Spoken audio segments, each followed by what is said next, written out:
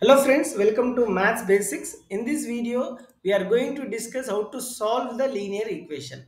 Here we have a linear equation with 5y minus 3 is equal to 7. We are calling it as an equation because there is a equal to symbol. The left part of is equal to we call it as LHS or left hand side and right part we call it as RHS or right hand side.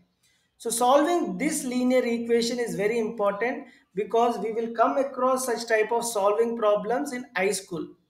So how to solve this linear equation we are going to discuss in this class. To solve y or to find y there is a particular procedure students. First we have to send a negative number or a positive number. Then we have to send multiplication or division number minus number goes to the other side will become plus or plus number goes to other side it will become minus multiplication goes there it will become division and division goes there it will become multiplication so let us see how to solve this one now First, we will send minus 3 to the right hand side, keeping the other terms as it is. 5y I am keeping as it is equal to 7. Minus 3 goes to the other side. I mean transpose to other side will become plus 3. So 5y is equal to 7 plus 3 which is nothing but 10. 5y is equal to 10 and the relation between 5 and y is multiplication. If there is no symbol in between a number and a variable, it means multiplication. So when we send the multiplication number to the other side of the equal to, it will become division. So 10 divided by 5 is nothing but 2. 5 ones are 5 twos are. So value of y is 2. So this is nothing but solving a linear equation. We'll solve next question now. 3x plus 2 is equal to 8.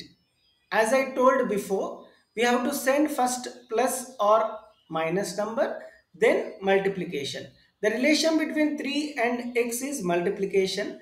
So we will send this 3 later after sending 2 to right side. So 3x is equal to 8. Now I am sending plus 2 to other side will become minus 2. We all know the value of 8 minus 2 which is 6. So to find x we have to send 3 that side. So when the relation between x and 3 is multiplication, multiplication goes to the other side will become division. So 6 divided by 3 is nothing but 2. 3 ones are 3 twos are. The value of x is 2 students. Now we will discuss x minus 3 minus 5 is equal to 2. First we have to send minus 5 to other side. So when I send minus 5 to other side, keeping 2 as it is, it will become plus 5. 2 plus 5 is equal to 7. 3 is associated with x as division. So when division goes to that side will become multiplication. So 7 times 3 is nothing but 21. The value of x is 21. Now try to solve these problems on your own students and find x and y from these linear equations.